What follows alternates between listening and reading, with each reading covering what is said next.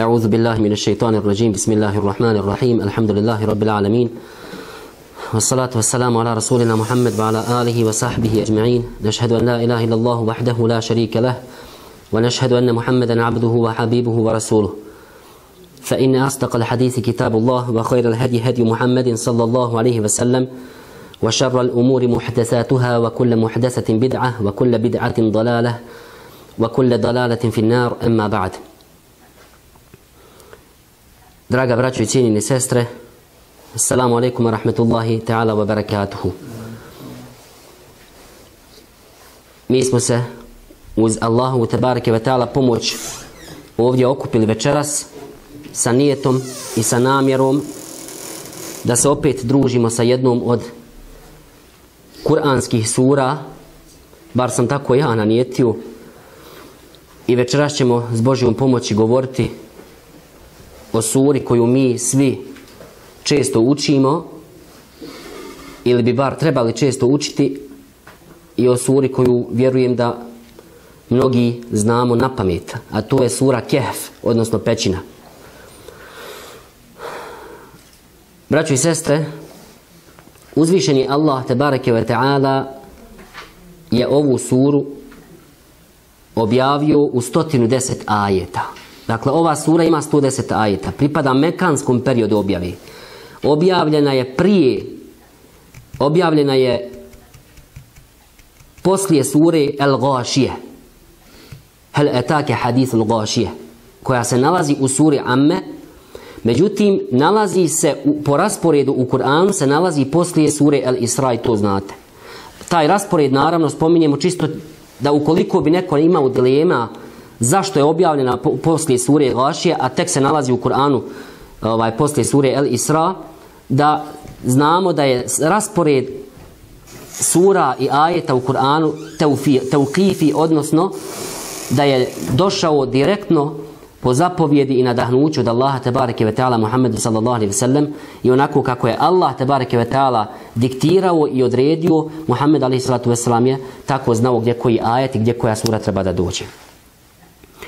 Kaže Muhammed sallallahu alaihi ve sellem u hadisu onaj ko prouči onaj ko prouči zadnjih deset ajeta u nekim predajama je došlo zadnjih, prvih deset ajeta sure Kehf, ona će mu biti zaštita od jednog od najvećih iskušenja na sudnjem danu, odnosno koje se može desiti čovjeku ili insanu, a to je zaštita od deđala. Ovi hadisi su došli i u formi onaj ko nauči na pamet. Došli su i u formi onaj ko pročita, ko umije pročitat. Došli su hadisi u formi ko nauči cijelu suru Kehf. Uglavnom, sve hadise kada saberemo vidimo da je riječ o tome da sura Kehf ima veliku vrijednost i da ima svoju smisao zašto je vjernici trebaju učiti, dragi moje sestre. Danas je petak, odnosno već je bio petak, danas je, sada je već subota i nadam se da smo učili suru Kehf. I svakog petka kada učimo suru Kehf, hajmo se potruditi da ove smjernice koje sada mi kažemo i dobijemo, da razmišljamo o tome dok budemo, dok budemo učili. Ove smjernice koje spominjemo, cijenjene sestre, se tiču takozvanog tematskog tefsira. Imamo naučni tefsir, ima gramatički tefsir, ima kako su učenjaci klasificirali, poredali. Gramatički tefsir govori dakle o tim gramatičkim finesama u Kur'anu. Naučni govori o naučnoj fantastici u Kur'anu, odnosno naučnom i'đazu Kur'ana. A tematski tefsir govori, odnosno cilj mu je da meni i tebi izvuče i pošalje one lijepe, prefinjene poruke koje ja i ti možda čitanjem ne možemo dokučiti. Ali je Allah dao našu ulemu, naše učenjake koji su dakle nadahnuti od Allaha te ve ta'ala toliko pronicali u kuranski tekst da su nam ostavili dakle ove poruke da ih čitamo, da ih iščitavamo, da ih naučimo i da ih živimo i da ih slijedimo. Mi se dakle bavimo u ovim našim druženjima, ovim tematskim takozvanim tefsirom. Da probamo izanalizirati koja je to, što, što su, šta, šta neka sura tumači, o čemu govori, zašto ona o tome govori i na kraju krajeva koja je poruka svega toga o čemu nam govori neka sura. Sura Kehf, ako, ako je čitamo, a evo, nadam se da smo je jučer čitali, ona, kao što znate, u sebi sadrži glavne četiri priče, moj zihnija. Znači, glavne četiri priče. Prva priča koju sura Kehf sadrži je priča o čemu? O onim pobožnim mladićima koji su se sakrili gdje? U pećinu, odnosno u Kehf. Druga priča koja se spominje u, u ovoj lijepoj kuranskoj suri je pećina o dvojici prijatelja. Jedan prijatelj je siroma, a vjernik, a drugi prijatelj je bogataš, a nevjernik. I vidite, dragi moje sestre i draga braćo, da nam uvijek zvoni u glavi da je kroz historiju ljudskog roda, od kad čovjek postoji, bivalo mnogo puta situacija da je vjernik siroma i da je vjernik onaj kojem se čini nepravda. Ali je pojenta u tome da mi kao vjernici ostanemo uspravni, znamo svoj cilj, na kraju krajeva bitno je tamo ko će završiti gdje, u džennetu ili džehennemu. Dakle, druga kuranska priča govori o dvojici prijatelja, jedan vjernik, jedan nevjernik. Treća kuranska priča, i žive bile, kada čitate Kur'an, uzmite, inače kada Kur'an čitate, kada iščitavate prijevod Kur'ana, uzmite sebi svesku. I gdje god naiđete na neko kazivanje, aha, spominje se Musa, ali selam, zabilješ sebi od tog do toga ajeta ta i ta priča u toj i toj suri. Možda nećeš ti skontati šta hoće da se kaže, ali ćeš srest nekog učenog čovjeka pa ćeš pitati. I sva ta neka kazivanja u surama koje čitate, bilješte sebi. Jer na taj način kada čovjek čita i uči u namazu neku suru, ljepše se osjeća. Kada imaš sliku, aha, ovo je to kazivanje, prvo, drugo kazivanje, šta se hoće kazati u njemu i tako dalje. Treća priča ili treće kazivanje koje se spominje u suri Kehf je kazivanje o Musa'u, alihi salatu wasalam, i kome još? I Hidru. Odnosno Hadiru, jest. I Hidru kako neki kažu, alihi salatu wasalam, da je poslanik bio, Allah najbolje zna. O Musau i Hidru. I četvrta priča, ili četvrto kazivanje, koje se spominje u ovoj lijepoj suri, je kazivanje o Zulkarneinu. Zulkarnein, za kojeg opet neka ulema kaže da je i on bio poslanik. Allah najbolje zna, pa ćemo kazati, alihi salatu wasalam. Inače, drage sestre, da znate da je Zulkarnein, odnosno kroz historiju ljudskog roda, ovo je sad jedna desetosekundna digresija. E, dvojca su ljudi vjernika vladali Dunjalukom, a dvojca nevjernika. Dvojca vjernika koji su vladali Dunjalukom je bio ko? Zulkarnein, ovaj koji se spominje, i drugi je bio ko? Salatu wasalam. To su dva muslimana, dva vjernika. A dva nevjernika koji su vladali Dunjalukom je bio prvo ko? Faraon, lanetullahi alaihi. I druga osoba koja je vladala Dunjalukom čitavim je bio onaj Nabukodonosor. Ako ga znate ga, vjerovatno ste čitali, on se spominje tamo i, ovaj, i, i, i kroz kuranska kazivanja i u hadisima se spominje Nabukodonosor, dakle koji je palio, žario po svijetu i bio jedan veliki silnik i tiranin. E vidite, ova četiri kazivanja, kad god Allah spomene jedno kazivanje u ovoj suri, obratite pažnju kad čitate suru Kehf, uvijek nakon jednog kazivanja, nakon drugog, nakon trećeg, nakon četvrtog, poslije svake priče Allah dadne pet, šest, četiri ili deset ajeta kao komentar ili kao poruka dakle na tu priču i na to kazivanje koji nam se spominje.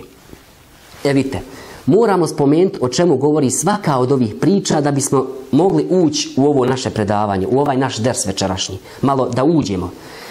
Prvo kazivanje govori o mladićima koji su bili vjernici. Znači, zihnija imaš čestite mladiće, pobožni ljudi. Svatili Allaha, spoznali Allaha, Allah i nadahnu i povjerovali u Allaha. A živjeli su u vremenu totalnog nevjerovanja. I vladar i narod, svi nevjernici. I onda su ovi mladići pozvali i vladara i pozvali narod. Međutim, šta se desilo, ko što obično biva, vladar im mučio, patio, proganio, ganio, sudio im se i tako dalje i tako dalje i oni su bili nadahnuti od Allaha da se sklonu uđe u pećinu. To govori prva priča. Na nju ćemo se opet poslije vratiti. Uglavnom da znate, prošli su ovi mladići teške situacije i na kraju su bivali u situaciji da se sklonu. To je ono kad dođeš ne možeš više ništa uraditi, makar se skloni čuvaj sam sebe. Druga priča koja spominje vjernika siromaha i nevjernika bogataša. A bili ahbabi, prijatelji bili, zamisli zihnija. Znači, ovo je priča u, u kojoj se spominje gdje Allah kaže Vadri blehum mesel ređulejni ovaj, spomeni im dvojicu ljudi Ja'alna li ahadihima džennetejni. Jednom od njih dvojice smo dali velike džennete. Spominje dva dženneta je dato. Misli se na bogatstvo, na njive, na palmovike Na sve ono što je u to vrijeme jel, značilo bogatstvo i onda je ovaj vjernik njega pozvao, boj se Allaha, čitajte suru pa ćete vidjeti tamo, boj se Allaha, pa zašto ne bi bio vjernik, pa vidi Allah ti dao, pa... A on iz inata neće i kaže, zar ti misliš da ćemo mi biti proživljeni? Zar ti misliš da kad mi pomremo, hađija, da kad pomriješ, kad istruhne, kad se kosti raspadnu, kad prašina postaneš, da će te neko živjeti. Treća priča govori o Musau i Hidru. U Kur'anu, drage sestre, kad god Allah govori o Musavu, neizostavan dio je i govor o Faraonu. Međutim, ovdje Allah u ovoj suri ne spominje Faraona uopšte. I zato, subhanallah, vidjet ćemo na kraju ovog našeg druženja večeras da to ima veliki svoj smisao. Jer je Kur'an takva knjiga. Allah spominje na određenom mjestu, u određenom kontekstu i određene osobe i određene likove i određene situacije ciljano i s namjerom. I vidjet ćemo zašto je Allah to spomenuo. Zašto baš je Allah spomenuo Musa i Hidra.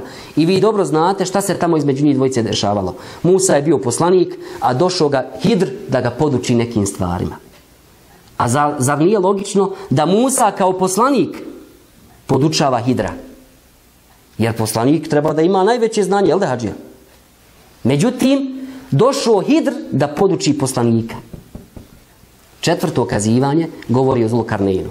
Jednom pravednom vladaru, jednom pobožnom insanu, Allahovom dobrom robu, koji svojim podanicima i pored svoje vlasti, i pored moći, i pored para, i pored imetka, želi svojim podanicima ono najbolje i najljepše. To su četiri kazivanja koja nam se ovdje provlači. E sad vidite. Jedna od poruka, jedna od poruka ove sure, odnosno ovih ovih kazivanja, sve četra ova, ova kazivanja, je ta da mi često ne poznajemo pravi smisao stvari. Pogledajte. Mladići se sklanjaju u pećinu, bolan. Kućeš u pećinu. U peći, pećina je simbol strahote, mraka, neizvjesnosti. Kućeš u pećinu se skloniti. A njima Allah baš rekao sklonite se u pećinu. Vidite, subhanallah. Kažu učenjaci, ako bismo mogli sumirati jednu od poruka iz ove četiri priče, je ta da jednostavno mi smo bića koja u ogromnom broju slučajeva apsolutno ne zna pravu suštinu stvari. I u pogledu Allaha, i u pogledu vjere, i u pogledu, evo recimo, hajmo sad spusti stvar na akidu, na fik, na hadis, i u pogledu naših dunjalučkih stvari. I zato treba čovjek, zato je poslanik Ali Slat Veslam, drage sestre, nas podučio. Ono što ne znaš detaljno, što ne znaš potanko, šuti. Pokori se onome što znaš i selam aleikum. Pogledajte mladiće, ošli u pećinu, čuju pećinu. Pogledajte ovi, ovu dvojicu prijatelja. Ova njega jadan savjetuje, on se njemu izruguje. Čak se u tefsirima spominje kako ga je vrijeđao, kako ga se ismijavao, ali on ustrajan. On i dalje ustrajava. Mislim, suprotno našoj nekoj logici. treće kazivanje. Kazivanje o Musao i Hidru. Gdje jedan poslanik biva u situaciji da sjedi na koljenima i uči od čovjeka kojeg ne zna. Nelogično. Četvrto kazivanje. Zulkarnein. Jedan vladar, pazite, jedan vladar Dunjaluka spušta se na taj nivo da ga ljudi praktično gdje je tamo došao u ona određena mjesta, spominje se da su ga izbjegavali, nisu ga htjeli nahraniti. Kažu učenjaci, jedna od poruka je to da mi trebamo se pokoriti Allahu, uraditi što je do nas i oslani se na Allaha. Jer ne znamo potanko mudrosti suštinu stvari. Vidite vi iz te pećine je podnikao veliki hajr. Šta se desilo poslije? Oni mladići, kao što znamo, koliko su proveli u pećini? Koliko Allah kaže? Salasa mijetin, tri stotine i šta još? 309 godina. Vazdadu tis'a. 309 godina um, Allah je umrtvio, spavali. U tefsirima se spominje, drage sestri, cijenja braću, da čak nisu se ni prevrnili. Da su tako spavali. U nekim tefsirima stoji da su se okretali. 309 godina vrtili se. Pa kaže što su se okretali, vrtili se ono s jedne strane na drugu, zato da tijelo ne zamre, subhanallah, pazite. A mrtvi bili. Kako je Allah dao. Ali vidite vi subhanallah mudrosti. Iz te pećine kad su oni probudili i otišli u grad dole. Zikrija. Sve vjernici. Allahu akbar. Oni su posijali i otišli. Posijali i otišli. Allah im dao sklonite se. Gdje da se sklonu? U mjesto koje mi zadnje izabrali. Čuju pećinu se sklonite. Škorpioni, vukovi, zmije. Ko bi još u pećinu se sklonite? Ali ovo je dokaz, ova sura nas uči da iako nekad ne znaš tačno neku stvar, kod Allaha je gaib. Ti uradi ono što Allah od tebe, od tebe traži. Uradi što Allah traži i prepusti stvari Allahu. E sad vidite ovu. Jesmo, jesmo koliko toliko ove četiri stvari povezali, ove četiri priče povezali. Kažu islamski učenjaci, koja je veza između ove četiri stvari? Kakva je veza između ove četiri stvari? Šta je veza između ove četiri priče, između ova četiri kazivanja? I zapamtite, ovo bilo dobro ko piše da se zapiše. Kad učimo suru Kehf, pa pređeš jednu priču, drugu priču, treću i na kraju staneš i kažeš, aha, Allah poručuje da je osnovna veza između ove četiri priče, a to su iskušenja. Iskušenja, drage moje sestre. Koja iskušenja? Ima li neko od nas ovdje da je razmišljao, nisam nija dok nisam učio i čitu. Da je neko razmišljao koja su to četiri iskušenja koja nam Allah spominje u, ovoj, u ove četiri priče. Ova četiri iskušenja, drage sestre, ovo su najčešća iskušenja koja mene i tebe zadese u našim životima. I ona se ponavljaju od Adema i do sudnjeg dana će trajati. Četiri i najčešća i najosno, najveća iskušenja koja ljude zadesi. A to su prvo iskušenje koje se desilo onim mladićima u pećini. Mladićima u pećini. Šta su oni, kud su pobjegli? Zbog čega su pobjegli? Zbog čega su mladići pobjegli u, u pećinu? Pobjegli da sačuvaju vjeru. I mi dobro znamo da je nas poslanik Ali Islam Hadžija naučio. Kaže, kad dođe vrijeme pred sudnji dan, da ne možeš jednostavno biti među ljudima, bježi u brda sa svojim stadom da čuvaš sebe i svoju porodcu i svoju vjeru. Doće takvo vrijeme pred sudnji dan.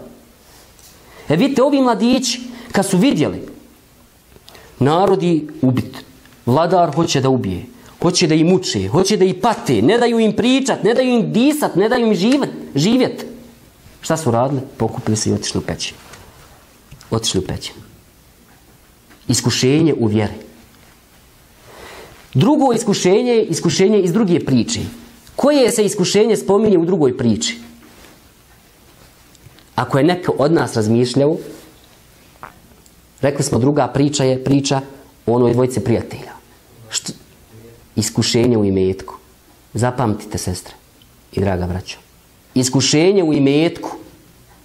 Zato smo spomenuli onu dvojicu ahbaba. Onog bogataša koji nije vjerovao u Allah. I nije htio da vjeruje u Allah. I kažu islamski učenjaci, jedan od najčešćih razloga zašto ljudi ne vjeruju je imetak, bogatstvo, jer to udari u glavu, osile se ljudi. I zato nam Allah podcrtava ovdje, u ovoj drugoj priči se, ona se vrti oko iskušenja u vjeri. Kad budete čitali ovu priču, iskušenja u imetku, kad budete čitali ovu priču, obratite malo pažnju na sve njene ajete, na taj dijalog između prijatelja muslimana i nemuslimana i na neke zaključke na kraju. Pa ćete vidjeti šta nam govori. Uglavnom važno je, sva se sura vrti oko iskušenja. Glavno iskušenje, iskušenje mladića, to je iskušenje u vjeri. Drugo iskušenje koje se spominje je iskušenje u imetku. Nemojte, drage sestre, misliti da ako smo kazali da smo vjernici, da nas Allah neće iskušati. Tu je naša najčešća boljka, nas, danas koji živimo. Zar ovi mladići nisu uradili sve? Pa pozivali vladara, zamislite, pozivali vladara. Vladara koji je htio ubiti hađija. Ali ako si vjernik, ti imaš, tebi je žao da neko gori u vatri. Pa ti je drago, normalno, nećeš biti dosadan, nećeš biti naporan, ali treba da dostaviš, da ljudima kažeš. Ljudi, vjerujte u Allaha, pozvat ljude. I mi često ne razumijemo ove stvari. Mi bismo da i davetimo, i da vazimo, i da klanjamo, i da i badetimo, a da nikakvih iskušenja nemamo. Da nas nikad niko u tramvaju, u trolejbusu, na ulici ne pogleda poprijeko, da nam, se, da nam se nikad niko ne smrkne, da nikakvih poteškoća nema. Mi bismo najviše tako, najradije tako vodili. Međutim, Allah nas u ovoj suri podučava vjernici i ljudi koji pozivaju u vjeru. Neminovno je da im bude čak iskušana njihova najveća stvar, a to je vjera. Do te, do te mjere možeš biti iskušan. Ljudi zbog vjere završi u zatvorima, na vješalima. Ljudi zbog vjere su danas u zatvorima po, po 20 godina. Mi dobro znamo ovi masovni svjetski zatvori. Iskušenje u vjeri. Drugo iskušenje, iskušenje u imetku. Treća priča. Koje, koje iskušenje se u trećoj priči spominje? Rekli smo da se govori o Musau i Hidru. Šta bi ovdje moglo biti? Dakle, tema ove priče. I, iskušenje u znanju. Drage sestre, kad čitate ovu priču, iskušenje u znanju. Zašto iskušenje u znanju? Allah nam hoće kazat, bolan, vidite vi Musa alaih salama, on je poslanik. On je poslanik. Najpreći je on da ljudima dostavlja znanje. Međutim, Allah ga iskušao s time, šta? Pa mu poslao nekoga ko njega treba da poduči. Nekoga ko čak više zna i od njega kao poslanika. A vidite, nije lako. Danas su mnogi ljudi iskušani znanjem. Okitili se diplomama, profesori, magistri, doktori, hafizi, ovako, onako. Ne da sebi prići. Ne da sebi prići. I zato, subhanallah, Allah ovdje podcrtava primjer Musa, alaih salatu wasalam, koji je na kraju kazao šta zihnija. Musa, alaih salam, kaže se teđiduni inša Allahu sabira. Vidjet ćeš kada ću biti strpljiv. Najveća, najveća odlika i lijepa osobina kod ljudi koji imaju znanje je da kaže vidjet ćeš da ću biti strpljiv da ćete poslušati. Jer pametni ljudi ne daju da, neće da budu poslušni, on samo hoće da govori. Najljepša osobina koja se može naći kod bogatih ljudi je šta? Da bude darežljiv. A najveća osobina koja se može naći kod, kod moćnih ljudi, jakih ljudi, vladara je šta? Da bude milostiv. Subhanallah. I ljudi, kad vidiš pametnog čovjeka, a vidiš ga da je skroman, da je ponizan, da, da je spreman saslušati onog naj, najobičnijeg čovjeka sa ulici, čovjeka koji mete ulicu, znaj da je to Allahu dobar rob. Jer bit pametan, imat znanje, okiti se diplomama, još kad te malo svijet ono zafali, pofali, nafali, onda je teško, hajde ja, ne da šetan da ti šutiš, onda ti si glava, ne, kak, šta štimem pričat. E vidite, u ovom, kazi, u ovom kazivanju Allah nam kroz primjer Musa a.s. kaže pa bolan Musa je bio poslanik. Poslanik. Došao mu obični čovjek koji, koji go ne zna. I Musa kaže vidjet ćeš da će biti strpljiv i da ćete slušati. Subhanallah. Četvrta priča, četvrto kazivanje. Koje se iskušenje ovdje spominje mu? Allah spominje Zulkarnejna, vlast, a to je iskušenje u vlasti. Subhanallah. Iskušenje u vlasti. Mi sad odmah mislimo, drage sestre, na, na vladare, na ministre, na ovi, na oni. Ne, pa i ja i ti imamo neku vlast u svojoj kući. Pa. Pazi se, boj se Allaha u svojoj kući sprem onih osoba nad kojim imaš vlast. Pa makar na svojim djetetom. Jer mi smo često sileđi na svojoj djeci. Često. Žalim, mi, mi uglavnom se žalimo, kad kažemo vlast i vladari, mi se žalimo na ljude baš koji su vladaju državom, gradom, općinom, nebitno. A ne stavljamo nikad sebe u situaciju jesmo mi ti koji imamo vlast. Evo kako, bi se, kako se mi ponašamo u nekim stvarima gdje imamo neku moć, neku vlast. I Allah upravo u ovom četvrtom kazivanju, četvrtoj priči nam podcrtava iskušenje u vlasti. Zapamtimo, ovo su četiri najčešća i najveća iskušenja koja ljude zadesi na Dunjaluku. I mnogi ljudi na, na, na, ovim, na ovim iskušenjima padnu. Koliko je ljudi koji pritisnuti sudovima, ucijenama ostave vjeru. Allah iskuša u vjeri. Ostave vjeru na uzbillah ta'ala. Koliko je ljudi koji zbog svog znanja ufuraju se, vidiš ga na kraju za lutu. Koliko je ljudi zbog svojih para i metka za lutu. Koliko je ljudi zbog malo vlasti, da dobiju malo. Predsjednik mjesne zajednice ne da priča sa sobom. Najobičnijeg sela predsjednik. To je naj, naj, naj, najuzbiljnija stvar. Ja sam lično sretao te ljude.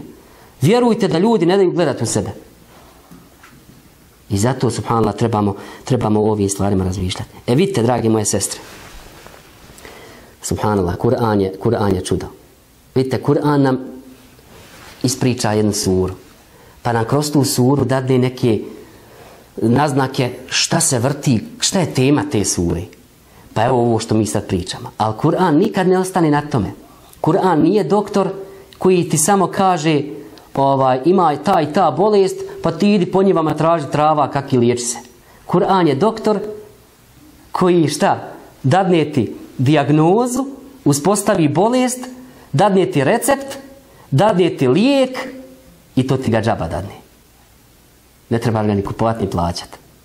I zato je Kur'an ovdje hađija za ova četiri iskušenja, zapamti hađija, reci svojim sinovima, kad budeš i unučadima, pričaj, svakom pričaj.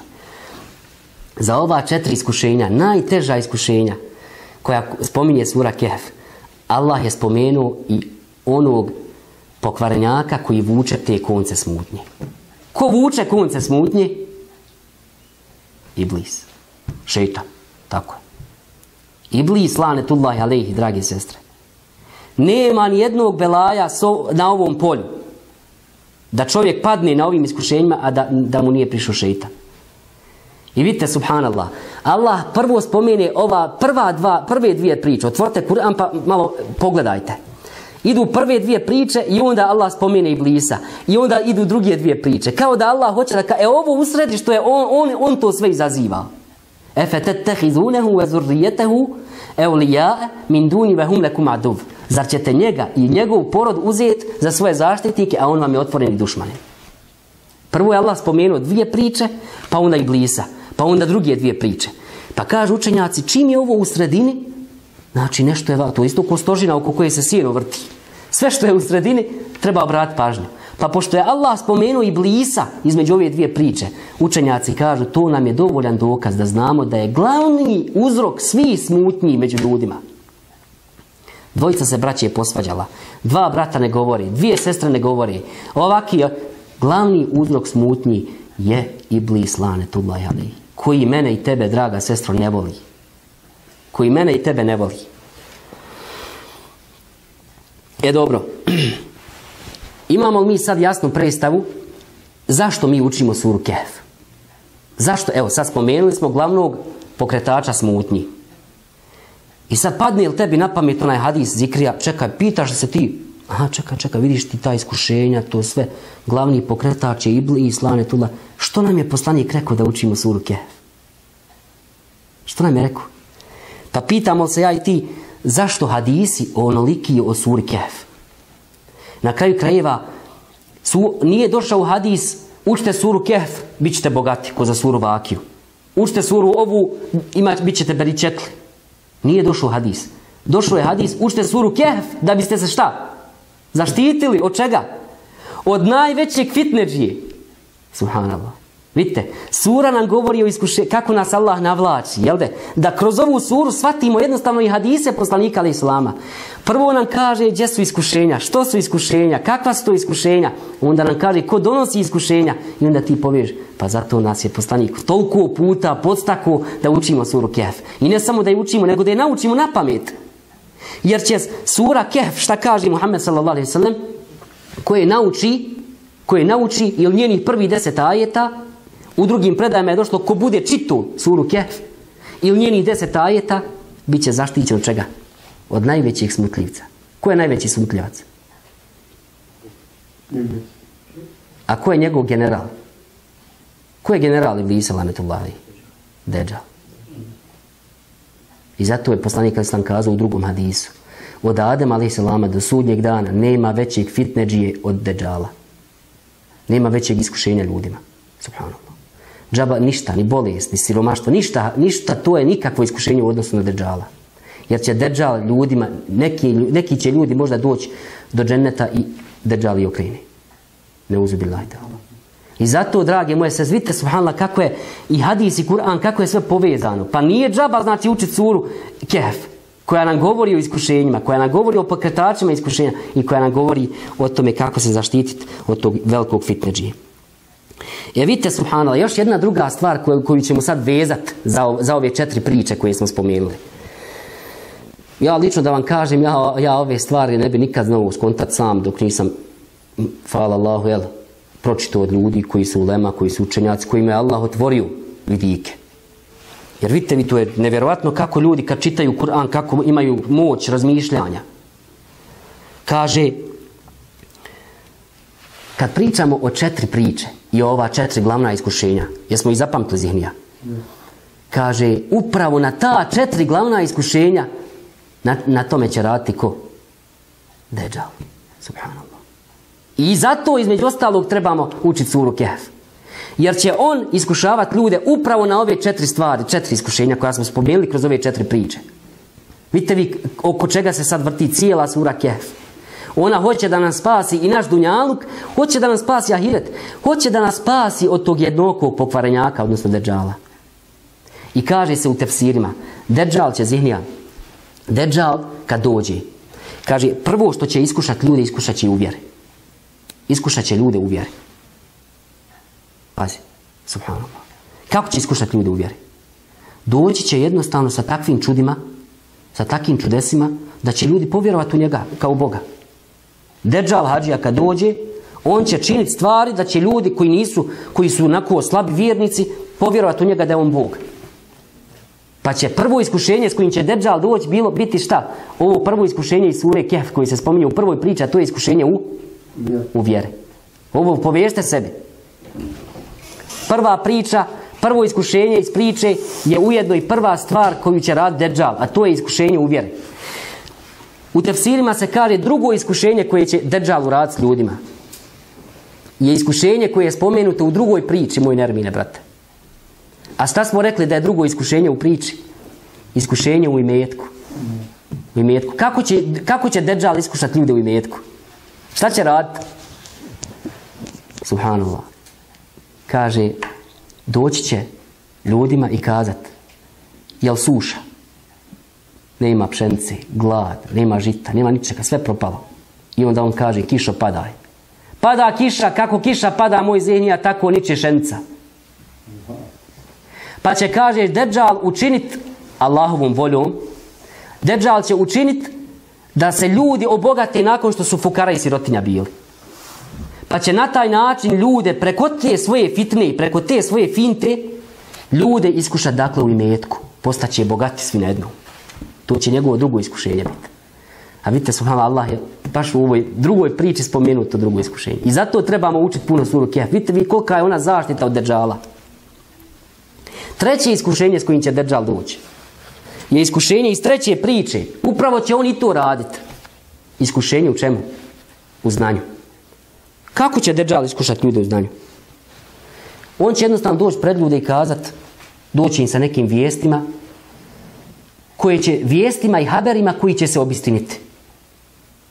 Dođe i kaže, sutra će biti to i to, sutra mi svanemo to i to. Dođe i kaže, za mjesec dana će biti to i to, za mjesec dana bude to i to. Kaže ljudi, ti si Bog. Ne uzubi Pa će na taj način Deđal iskušati ljude preko znanja, preko svog znanja. I zato između ostalog učimo suru Kehf, da nas ona prosvijetli, ona će nas prosvijetliti. Jer kuranski ajeti, svaki harf, draga sestro, kojeg učiš, on taj bukvalno svijetli, prosvjetljavate. A gdje ima Allahovog nura i Allahovog svjetla? Tu su daleko i džini i šeitani. Četvrto iskušenje, vidite su malo, baš ono što je u suri, kažu učenjaci, to će i Deđal raditi. Ovo je na osnovu hadisa, poslanika sallallahu alaihi ve Četvrtu stvar koju će Deđal raditi, šta? Je iz četvrte priče, a to je iskušenje u, u vlasti. Kako će to uraditi? Kaže, toliko će ljude sa ovim svojim šeitanucima obenđijat, da će mu bukvalno dolaziti klanjati se. Vladat će ljudima. Tu vam je isto ono što, što možemo vidjeti, da kažemo, jel, neki čudni ljudi danas koji žive na ovom dunjaluku, koji se bave svačim, bukvalno vidiš ljudi im robuju. Nikakvog jasnog povoda i razloga, ljudi im robuju. Pa će Deđal sa svim ovim fitnelucima svojim koje posije među ljude, to do te mjere ljude obenđijat, da će se ljudi pokoravati. Neka ulema, drage sestri ciljena braćo, je spomenula da je Deđal već u ovom vremenu živi. Naravno, Allah najbolje zna i ja lično nisam zastup, za, za, zastupnik ovog mišljenja. Ali recimo, nije zgorije da ga spomenemo. Da je to novac, da je to para. Da je to para. Zar se ljudi ne ubijaju? Zar se ljudi ne ratuju? Zar se ljudi... To su argumenti ove uleme, moderne, savremene, koji kažu tako nešto. Allah najbolje zna na osnovu hadisa, naravno, da više da, da ovo nije tačno. Ali uglavnom, ovo je samo jedan primjer. Evo, para može biti primjer ovoga što smo rekli četvrtog iskušenja, da će toliko ljude obenđijat da će jednostavno mu se klanjati. Zar se ljudi danas ne klanjaju pare? Zašto se ljudi svađaju? Što mi u džematu nismo dobri jedni s drugima? Allaha mi nije nismo dobri zbog, zbog toga što, ne znam ja, zavidimo jednim drugima što puno klanjamo. Nije to. Nismo dobri zbog dunjaluka i zbog para. Et, Allah će, dakle, bi iznillah ta'ala, Allahovom dozvolom, Deđal će imat takve ovlasti od Allaha, da će toliko na ljude uticat, da će bukvalno sa njima ovladat. Biće spašeni samo oni nermine, brate, koji budu čvrsto vjerovali u Allaha. A jedan od recepata kako se spasti od deđala je šta? Učit suru kef. Subhanallah. Učit suru kef. Vidite ovu, kažu učenjaci, poruka ove sure, jedna od poruka ove sure je dakle zaštita, da se zaštitiš od smutnji. Da budeš sklonjen od smutnji. Subhanallah. Ima li neko od nas da ne bi volio da bude sklonjen od smutnji? Evo, u džami, u džematu našem, u davi, nastupe neke razmjerce među braću. Ima li neko da, da ne bi volio da bude sačuvan od te fitne? I da kaže, slušajte braćo, nemojte tako, nije, nisi niti u pravu, nisi niti, hajmo naći zajedničku. Međutim, kad, kad ljudima ovlada onaj neki ego, kad svako ima svog šeha, svoje mišljenje, a to se najčešće dešava kad ljudi nemaju tog unutarnjeg potencijala. Drage sestre, ljudi uglavnom jedni s drugima kuhaju, jedni druge ne podnose, firke, razilaženja se dolaze zato što, šta?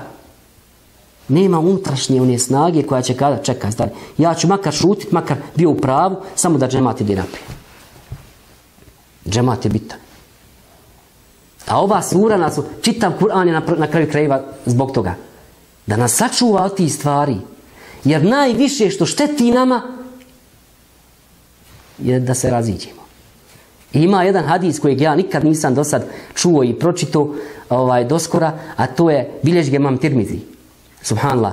Kaže, es šeitanu, in, kad je se šeitanu en ja'budehu musallun. Kaže, šetan je izgubio svaku nadu nermine da mu se mus, vjernici klanjaju. Nema on tu šta tražiti. Ne može on sad tebe preveslat, ako Bog da i mene i s Allahom pomoći. Međutim, kaže, gdje njegova nada leži? Walakin fit tahriši bejnehu. Subhanallah. Njegova nada leži u tome da ih zavađa i da se cijepkaju da se dijele. Tu je, on ne može da podnese, ne može nam drugačije nikako nauditi i onda on preko ti naših sujeta, a kako nastaju sujete? Pa kad si unutra nedovoljno pun. Vjerujte, učenjem Kur'ana, zikrom, iskrenim ibadetom, se te stvari do te mjere čiste. Pa je, zar mi mislimo da Omeru nekad radi Allahu anhu nije bilo krivo na neke ashabe? Zar mi mislimo da oni nisu imali nekad razloga da se jedni s drugima razmire? Ili da se, da se raziđu? A jel se to desilo među prvom četvorcom halifa, da kažemo da su oni bili sebe, bila su bili razlog? Pa i među svima ashabima, onim najistaknutijim među poslanikom, sallallahu nije se desilo. Zašto? Zato što su svi radije ušutili, makar ja bio u pravu, ali neki je džemat naprijed. I ova sura ima cilj za cilj da nas sačuva od tih i drugih vrsta smutnji, fitneluka. I drage sestre, i draga moja braćo, ja mislim da mi danas kao mu'mini, kao vjernici, kao namažije, kao kuranlije, kao postači, nemamo, elhamdulillah, problema sa ovim nekim direktnim napadajima na vjeru od strane šetana. Da nas Allah sačuva. Ali zato imamo i kako problema da sačuvamo svoj saf. I mi dobro znamo unazad, evo, ovih zadnjih 5, 6, 10 godina, šta se sve desilo u džematu. Šta se sve desilo u džematu. I zato, subhanallah, posle svake ove priče, Allah, ono što smo kazali na početku predavanja, Allah daje recept. Uzmite suru Kehf, kad pročitate priču o mladićima u pećini, vidjet ćete da ide nekoliko ajeta, do 10 ajeta, 15 ide o tome šta treba raditi da bi se sačuvao iskušenja u, vjeri. I zabilježi to u sebi u defter. Pa čitaš drugu priču, iskušenje u imetku, onom dvojici prijatelja. Ide 10, 15, 25 ajeta, nebitno, kao recept, lijek, šta treba raditi da bi se sačuvao od tog, tog vrste iskušenja i te fitne. Dakle, Allah nam je došao sa rješenjem i apoteka i farmaceut, sve ima zihnija, ništa ne treba. Znači, besplatno. E vidite ovdje, koje, ko, koje moramo spomenuti naravno ta rješenja. Koji su to, koje, da kažemo, koje su to lađe spasa koje Allah nudi ovdje sad za ove probleme? Iskušenje u vjeri, iskušenje u, u imetku. Vidite, subhanallah. Ovo zapamtimo, drage sestre. Vi ste ovdje u školi Kur'ana. I nemojte ovo nikada zaboravite. A i ova braća moja koja ovdje oko mene slušaju prvi recept, prva lađa spasa od iskušenja, od ovih vrsta napada na je dobro društvo. Subhanallah. Allah je prvo to spomenuo. Kako? Wasbir nefseke ma'al ladine jed'une rabbehum bil godati wal ašiji yurid. Kaže ti budi ustrajan sa onim koji su željni Allahove naklonosti. Koji žele Allaha. Koji jed'une rabbehum bil godati wal ašiji. Koji i jutrom i navečer Allaha mole. Ustraj u društvu sa vjernikom, sa vjernicama. Nekad ti teško, nekad ti mrsko, nekad si bezvoljan, pa svima to nama dođe. Ali ustraj, jer znaj da, će, da je dosta lakše i jeftinije podnijeti taj neki trenutni umor, trenutno neraspoloženje, nego one posljedice koje mogu nastupiti kada ostaviš dobro društvo. One su daleko skuplje. Daleko skuplje. Prva lađa spasa, zapamtimo, dobro društvo, hajrli sjelo, i tome nas je poslanik sallallahu alejhi ve sellem podučio u brojnim hadisima. Možda smo spominjali na nekom dersu. Poznati hadis bilježi ga Buharija i Muslim. Kaže innema mesalu džalisi salih bal džalisi su i kehamili miski ve nafih kir. Uglavnom u prijevodu otprilike dobar prijatelj je kao prodavač mirisa. Uvijek koristiš se. Uvijek imaš fajde. Dobro društvo je bolan. Evo vidite, mi smo sad ušli ovdje u ovu kuću, ja pitam ko je ovo ovako fino na mirisu. E to je to. Sad ćemo izaći iz ove kuće, mirišemo od ovog mirisa. Dobar prijatelj je ko miris.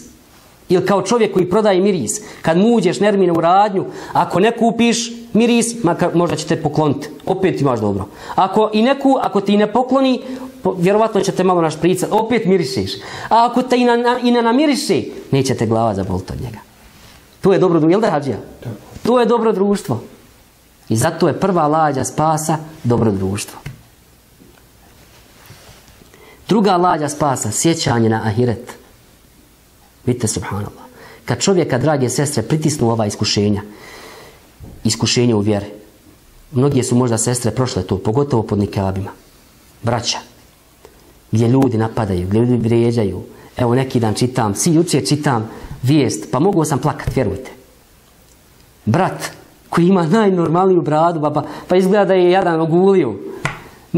Kažnjen pet mjeseci i 30% od plaće u našoj graničnoj službi zato što je klanio. Radi čovjek na graničnoj službi, graničnoj policiji. Pet mjeseci od plaće je kažnjen zihnija. 30%.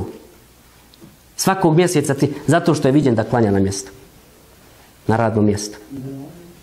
Pa Allah mi u Evropu, gdje god odeš ljudima, ljudima nikakvih problema nemaju ljudi da klanjaju. Bilo gdje, na, na bilo kojem mjestu. Za vrijeme posla. Musliman kaže. I mnoga su braća i sestre iskušani u vjeri. Imamo mi svi tih poteškoća. Mnogi bi kod nas vodili da nema ni namaza, ni jezana. Sve su to neki tereti, neka iskušenja, razumijete? I zato u, u moru kad to navali taj pritisak, iskušan si u vjeri, iskušan si u imetku, da li siromaštvom, da li bogatstvom, iskušan si u vlašću, da li si ti vladar ili neko te previše, da, ili si ti podanik pa te neko previše pritegu. Kako god, sjećanje na ahiret je jedan od lijekova. Vjerujte, sestre, dragi i draga braća. Sjećanje na ahiret. I ta čvrsta vjera u Allaha. Mi ćemo svi proći. I moćni, i nemoćni, i bogati, i siromašni. Svi ćemo proći. I niko ne, vi to do, dobro znamo, niko neće doći nišćim pred Allah osim sa svojim dijelima. A Allah u ovoj suri, vidite subhanallah kako upečat, inna a'tadna lil zalimine naran ahata bihim suradikuha. Kaže Allah će za, za zalime, za ljude koji znači budu otišli od vjere, zulum, zulum se, vi znate da se u Kur'anu čak zulum tretira kao širk. Inne širke la zulmu nazim. Najveći širk, širk je zulum. Najveći zulum. Pa kaže, za zalime je Allah pripremio šta? Patnju koja će ih sa svih strana okruživati. Pa kad se toga sjetiš, jel de? Ti znaš, ti imaš koordinate, imaš svoj kurs, znaš kud ideš, znaš kud hodaš. Pa kad se sjetiš, Inna allazina amanu wa amilu salihat. I to je u ovoj suri. Wa amilu salihat. Kanet lahum džennatul firdevsi nuzula. Kaže, za vjernike i vjernice koji rade dobra djela, Allah je pripremio šta? Džennatul firdeus. Najveće džennete. Subhanallah. I zato to sjećanje na polaganje računa, kad Allah u, suri Kehf kaže za nevjernike, felanu qimu lehum jeumel qiyameti vezna. Zamisli, neko te treha, neko ti čini zulum, neko te krade, pljačka, hoće te ubije, neko te oštetio, neko te zakinu. Kad se ti sjetiš, Allah kaže, njemu na sudnjem danu neće biti postavljena uopšte vaga. Džabati, džabati mladiću i sila, i vojska, i JNA, i sve što si imao. Ti na sudnjem danu, ako se ne pokajiš Allahu, niješ vagi imat. Allah kaže, nevjernicima ne trebaju ni vage. Njima neće biti ni vagano ništa. Ne ima potreba se vaga. Nema šta da se vaga. Subhanallah. I zato to sjećanje, prisjećanje na ahiret, na polaganje računa, na, na to jednostavno ojačate, ti znaš svoj put, ovaj, očeličiš se i znaš da ćeš doći pred Allaha sa nagradom koju ti Allah obećao. I sljedeća, vidite subhanallah, sljedeća lađa spasa koja se spominje u suri, Kehf, u suri Kehf za ova iskušenja, pogotovo iskušenje u znanju. Šta smo spomenuli za Musa alaih Pametnim ljudima i učenim je vrlo teško biti skroman. On kad se mikrofona dograbi ovako ko ja, on ne zna da ušuti. Sve dok ljudi ne zahrče u duboki san, on, on jednostavno ne ušućuje. Naravno s tim što ja ne mislim da sam možete pametan. Ali u istinu, subhanallah, u istinu ljudi koji se okite ilumom, koji su, čak šta više mi kroz historiju imamo da je najveća naša ulema znala na ovome pokliznuti. A vidite čemu nas uči sura. I zato zihnija i ti u svojoj struci kao električar. Ne treba čovjek misli da sve zna. Ja pogotovo u svojoj struci. To znanje treba da te nauči da zapravo manje zna, malo znaš. Kaže Allah se teđiduni inša Allahu sabira. E, pazi, Musa, ali salam poslanik, dolazi nekakav hidr da ga podučava nekim stvarima koje su čudne. Tamo buši lađe, ubija djete, sve čudno. Međutim, Musa kaže, ja ću biti strpljiv. Sjedim na koljenima, šejh, i udri. Radi šta hoćeš sa mnom. To je pametnim ljudima teško. Pogotovo danas ovim nadri pametnim koji imaju diplome, a pameti nemaju. Njima je pogotovo teško ovaj, biti skroman jer danas su poremećene te vrijednosti da Bog sačuva. I zato, subhanallah, skromnost, skromnost je jedno od efikasnih lijekova u borbi protiv ovih vrsta iskušenja. Pogotovo iskušenja u, u, znanju, u ilumu. E vidite, drage moje sestre i braćo, do jacije mi ćemo ovaj, spomenuti još par stvari, imamo još kef, zapamtite dobro. Jedno bitno, bitno obilježje, pište sestre, bitno obilježje sure kef je pokret, akcija, akcija, rad, rad, djelovanje, nema stavanja. Otvorite suru Kehf i vidite šta kaže Allah Lekad laqina min seferina haza nesaba. Kaže Musa svom mladiću. Umorili smo se od ovog puta. Znači hodali su, išli, išli, radili nešto. Tri puta Allah kaže fentaleka. I nastavili su ići, nastavili su ići, nastavili su ići. Allah u, suri Kehf dva puta spominje fe etbe'a sebeba. Pa je krenuo, išao je, išao je, pokret, akcija. Pa onda tri puta se spominje hatta iza belega, kada je stigao, kada je došao. I onda na kraju kaže za Zulkarnejna, e inuni bi kuve, pomozite mi. Kažu islamski učenjaci, jedna od lijepih poruka ove sure je da ona od vjernika traži pokret akciju.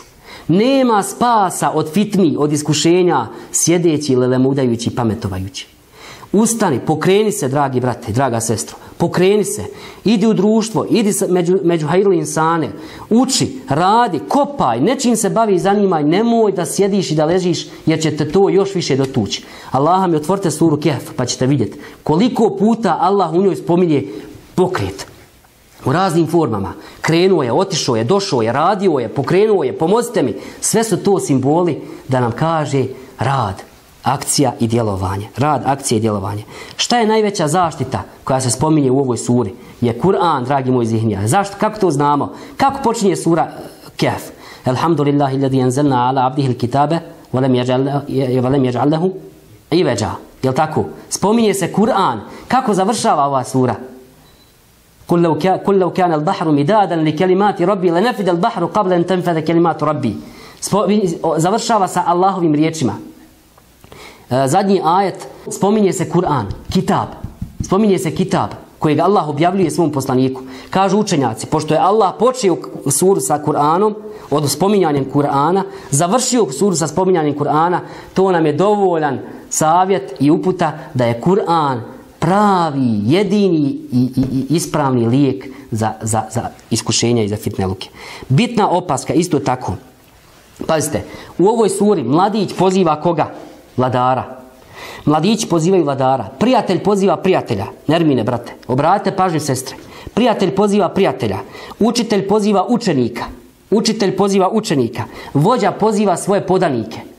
Kažu islamski učenjaci, ako pogledamo ovdje ko sve koga poziva, vidjet ćemo da poslije vjerovanja i poslije Kur'ana dava je stvar koja je nužna u jednom društvu. društvu.